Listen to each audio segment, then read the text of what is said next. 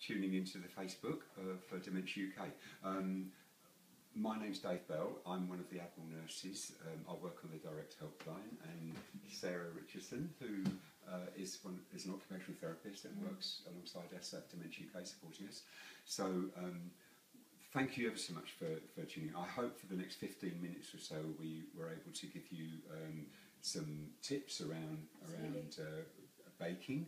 Uh, we've got Time for a Cuppa, which is the Dementia UK annual fundraising event coming up next week, starting on First. first of March That's right. um, Till the 8th. until the 8th. So um, I, we hope all around the country people will be holding events um, using using baking, eating cakes, having tea parties, and raising funds to support Admiral nurses um, across the country.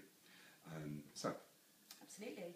Um, I mean, it's just been lovely seeing your interest on the on the Facebook page, and it sounds like actually a lot of you are already enjoying um, the benefits of baking um, with people living with dementia and family.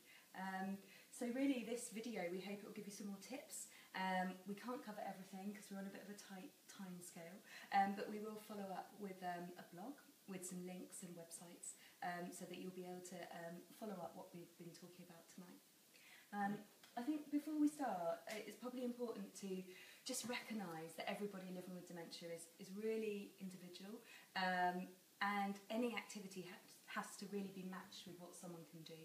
So we can't make specific recommendations, but we're going to give you some general ideas and we hope they're going to be useful for you. I think so. I think I think the idea is to give you some tips Mm. that you can apply, but knowing the person is the most important thing, and you you you know the person you're caring for, or you know, you you mm. you have your own particular um, ways of doing things. So and your own particular kitchens as well. Yeah, so, no, absolutely. Um, not everything we do here is going to be applicable. no, quite. But if you do have any more questions, you know, please do just put them on the Facebook page. We'd really love to hear from you, um, and yeah, try and help answer any questions you have.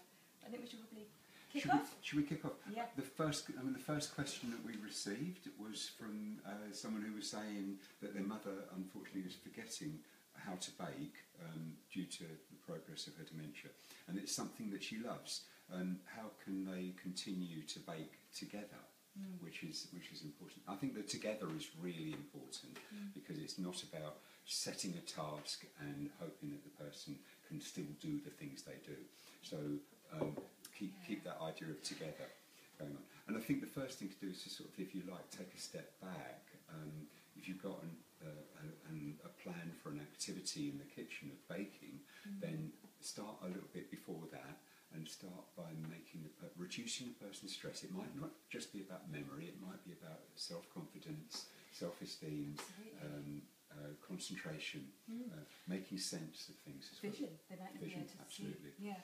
So make sure you've got the person's trust and, and they feel safe with you, which is which is really important.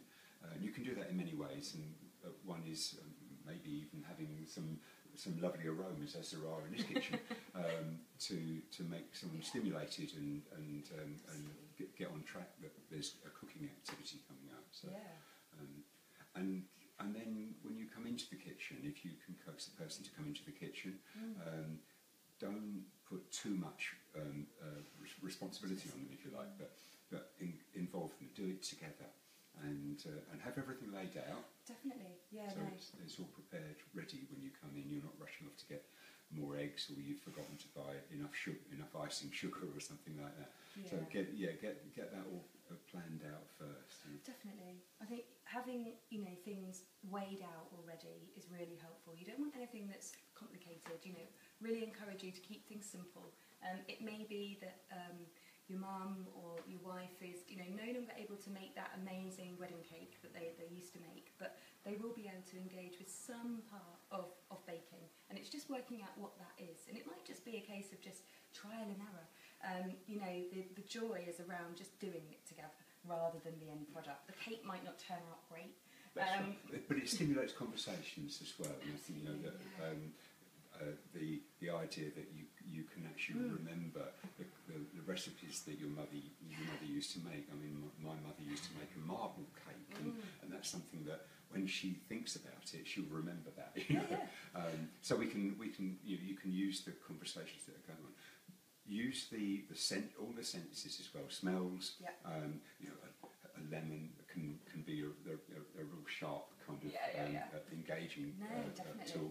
Um, feel the feel the feel of an egg. You know, Mm. um, sorry, I'm, I'm using all your. No, your no, no, not and, at all. and if, if there's mixing or needing to be done, then that's really good You and really tactile as hands well. Yeah. And you can do that together. You know, that's something that you can put your hands over each other's and just enjoy that, that tactile experience. What I was going to just pick up around what you're saying about being organised and having things laid out. Um, you may want to just keep things in, in clear jars because you can see what's in there. You don't have to rummage around in your baking cupboard. Um, you might want to put a label on it to make it easier, and you might want to label your cupboards even so that um, you know you can navigate your way around the kitchen a little bit easier. Um, something that I found helpful when actually um, baking with people living with dementia is around um, some of the equipment, as we call it, or a bowl. You know, try and use one that, that perhaps is in a contrasting colour to the worktop. Um, particularly for people who perhaps have visual difficulties as well, it's really helpful to be able to actually see what, what you're doing and what you're working with. Um, and it may be, you know, that the, the wooden spoon someone's able to enjoy just stirring. It may be that they want to just get their hands in and touch. Um, it may be that you actually have to scrap that part and use an electric whisk. You know, you're going to have to perhaps adapt how you're used to doing things, and that's really what this is about. It's Yeah. doing things differently, and that's okay. And even even Mm. if, if you know, I, we said about giving someone some bits of the process Yeah. to make, if they're not able to follow through the whole the whole process, there's so many um, different. Elements, you break down. You break down. Even making a cup of tea, you've got about 16 different steps. So, but if, 35, I cu- cutting a cutting a lemon up. Is it 35? Okay.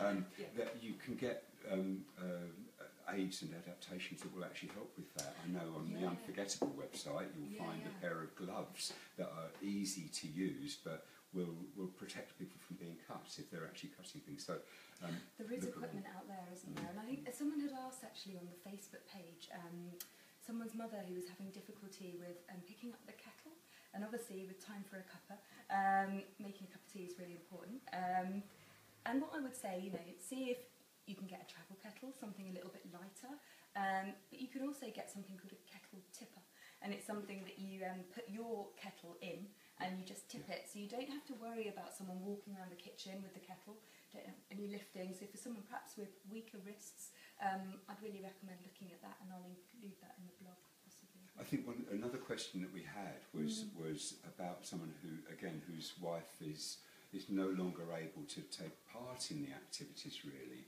but Yeah. she still enjoys the uh, being there and, and, and, and used to bake really well. And I think even with someone in later stages of dementia, you can you can involve them in the activity. If they if you're doing something and they're in the room and uh, Mm. enga- you can engage them and make them feel they're part of it um, just by eye contact, by by laughing, by showing things, by getting them to Mm. smell. Um, they, they can still feel That's that they're, they're they're very much part of what's going on. So much as well of what we do, and you know, around baking, it's for some people it's a massive sense of who they are and identity, and gives you purpose, doesn't it? Yeah. What, what we do, and so it's really important to to keep holding on to that. I mean, I think so many of the, of the older women, in, Mm. people in the 70s and 80s, Absolutely. were, were perhaps not professionals, but they, they, they managed the house, you know. And we were yeah. talking, we were talking earlier on about how people did home economics at school. Yeah. So the, the idea is that um, you know we learned how women especially learned how to cook. Blokes didn't. So I think you know often uh, we're giving advice, and sons and husbands may may find it not so easy and have to uh, have to watch maybe a, a, in one of the TV programs about about learning learning to bake to help um, uh, actually do some of the, the, the baking themselves. Um, yeah, as we said, if, if, if all fails and, and the, the cake doesn't make it, then you, you can always get one out outside in the shop and bring it in. But it's the process It is of the process. it, and I think that's the most important thing is the is the fun to be had from it. Absolutely. And something about, you know, enjoying, even if you haven't been involved at all with making a cake, you know, enjoying having a, a, a piece of cake together in a cuppa, just enjoying that experience. Um, yeah. Next question. Next, the next question that came in, um, and please do get some questions into it. We haven't got that long, but please do try and get some in. Was it was about someone who um, who was living with dementia themselves, and they were asking about how um, they they they could carry on baking safely in the kitchen, um, even though they were alone in the house. It might be when their wife is at work, and uh, and we've got some tips for that as well. I think you know, Yeah. but the first thing is to plan ahead, really, isn't it, Sarah? Yeah. And just make sure that you that you You you're thinking plan you're thinking when you want know to do you're going to things. I mean, the kitchen, as we all know, is an absolute warren of, of hazards. Um, and there, there's lots, you know, that we can all worry about. Um, and to the person, I think it was Mel who, who, who wrote that message to us, I really encourage you to keep, keep baking and doing what you love. It's just how we slightly adapt things so that you can do this safely. Um, with gas, there are a couple of things that you can do. Um, the, top thing would be cut your gas off, um, but you can also have a sort of gas um, shut-off valve fitted that would shut it off if the gas was leaking or the gas was left on but unlit. Um, you can get uh, heat sensors if things are getting too hot, um, and hopefully you already have a smoke alarm. Smoke And, alarm, and, and a, actual alarm, alarm clock, an oven alarm or something like that, that will make a noise. It's easy to, I think you, you, it's easy to get distracted doing something else in the middle. If you put something in the oven, you can easily get you know, you know, carried away and get involved in that thing. Keep distractions to a mm, minimum. I mean, Yeah. that's that's often when we, we get distracted. Isn't I it? think it's about breaking down. You mentioned it before, mm. though, about breaking down a task, mm. writing down for yourself at the beginning of it what you're going to do, how, how, much butter, how much, how many eggs, whatever, and at what time you're going to do it, and just try and stick to that. It's a, you know, it's difficult, but it's about structure and, It and just trying to, to yeah, um, uh, keep, keep to a to a, a pattern, if you like, over, over a. It's, it'll take half an hour, forty-five minutes, but Yeah, yeah, no, um, of course. stick to it. I mean, one um, suggestion I might have, Mel, is that you, you know, you, there may be an option for you to, to have an electric um, cooker. It's a lot safer. Um, if not, you can get the little electric rings that you might take camping, so it's a lot cheaper. Um, but also, you know, you mentioned your wife and, and baking together, so perhaps you could do that at the weekends, um, and then leave yourself some tasks which don't involve heat and gas for in the week, whether that's icing, you know, and doing some of those um, tasks that are a lot lot safer because we really want to encourage you to keep keep active. It's really really important as well. Do we have another question? Lovely, thank you. You've got a question? Yeah. Um, should should you, No. you, you go on. Yeah. Should I encourage my relative with dementia to bake with me, even if they've never baked before? Well, I, I, I think yes. I think it's it, it, you know even if they've never baked before, they might not be. It might not be something they're the, they're used to doing. They might might not have memories about it, hmm. but it's an activity that can be a lot of fun. If you like if you like baking yourself, then or you're you know you, you're going to come up with something that you can share and eat together. Then you're doing something with with the person who um, is just going to be involved with you, and all those. I mean, the sen- oh, I talked before about the senses involved and Yeah, the yeah, smells. I mean, one of the things that I, I Yeah. just can I just very briefly get this across. This is a set of um, of cards that you can get. Um, uh, they're called reminis- reminiscent cards, so they're smell cards, and you can get them on um, uh, the Unforgettable website.